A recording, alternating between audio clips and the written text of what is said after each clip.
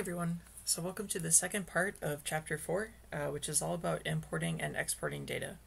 Now, given the difficulty of filming all of this, uh, because it would require me, it, it requires me to go through not only MATLAB, but also my file explorer and notepad, etc., etc. Long story short, um, I do not have the technical know-how uh, for making this transition extremely smoothly. A Twitch streamer, I am not. So, um, because I am not skilled enough with uh, OBS, which is what I'm using to record, uh, we're uh, what I'm going to ask you to do is follow along very carefully with this video and in your textbook. And what you should do is you should see, you know, what changes, like what these commands are doing, and you know, see for yourself how different options are really um, how how the different options, uh, different things that I do manifest on your computer. So, with that being said, let's talk about how to import and export data. So, probably the most simple way of importing and exporting data are the save and load commands. So, if you want to save the variables that you want, uh, like the variables in your workspace, you can just type in save and then a file name. So I'm going to do blah.txt. Or I'm just actually going to call it blah, like so. And it's going to save. Now the file that it actually saves to, uh, one second, I have to actually go there in my computer because I did not, uh, was not prepared for this as I thought I was. Uh, Alright, so it saves as a .mat file which is a proprietary MATLAB file. And if you try to open it with a text editor, you're going to get a bunch of gibberish. Uh, the reason why is because MATLAB only likes you uh, using its files with um, MATLAB, with the uh, the with this paid software, and that it doesn't like to offer for free. But what the .mat does is it actually saves not only the variable values but also the variables itself. So then if you want to load that back in, I'm going to type in clear to get everything to get rid of everything.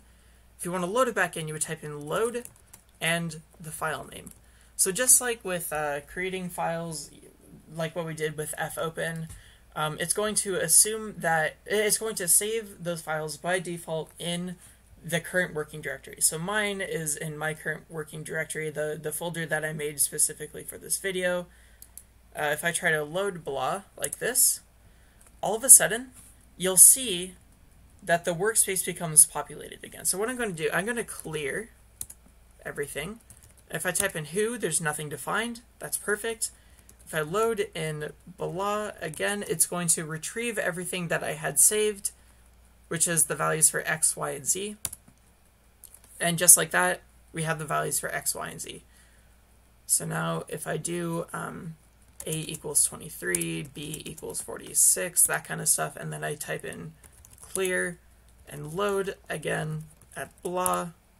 It's still only going to give, give uh, X, Y, and Z. And specifically, it will only give the values of X, Y, and Z at the time that we save them. So you can think of it as sort of like a save state, or you know, if if any of you are active video gamers, I imagine I have at least one in my class. Um, if any, but yeah, if any of you are active video gamers, you can think of it as a specific save point where any changes you make after that save point don't get reflected if you uh, go back to that previous save. So that's sort of what's going on here.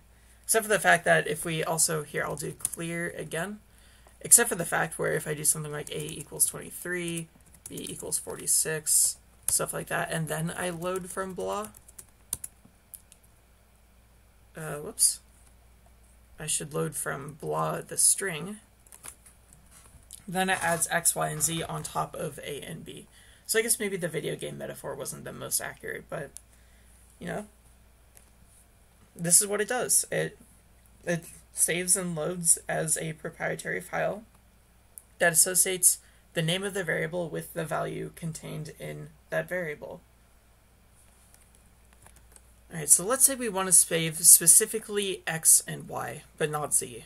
So what I'll do is I can type in save the same file name, so blah, x and y, like that. So I'm going to overwrite the original blah save I made with only x and y. So z's value is going to get thrown out completely. Um, my bad. It should be x and y in strings like this. So the string named x and the string named y. So what you're actually doing is you are presenting MATLAB with the strings that represent the names of the variables that you're trying to save. So for saving x and y like this, then if I clear everything, basically what I've done is I've overwritten the blah file that gets saved. I'll load blah again, and all of a sudden we only get x and y. So out of all the variables that we had, a, b, x, y, and z, we only saved x and y. Now, here's another cool thing. I have x and y saved in blah, but let's say I only want to load x out of blah. I don't want y at all.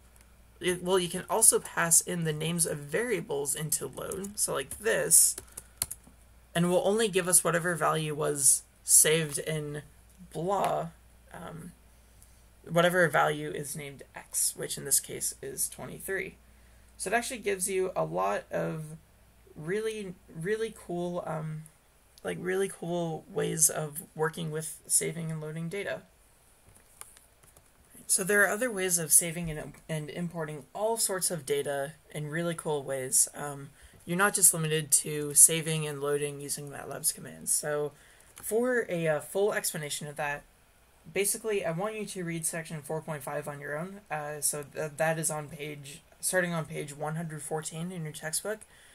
What that's going to do is that actually tells us how we can actually import and export data from and to Excel sheets, among many other forms. So this is going to be really nice when, say, we're trying to use MATLAB to make some automations that have to do with large data files that already exist in Excel files. We don't want to we don't want to have to type all that out by ourselves when it already exists in some really large Excel file. So it'll be super useful for us when we want to, um, basically, when we want to work with large existing databases using MATLAB in order to do computations or really automate any sort of other functions. So basically, um, MATLAB has a whole bunch of stuff about working with Excel, working with uh, MATLAB's import wizard, which import and export wizard, which are really powerful tools for figuring out how you want to import and export data.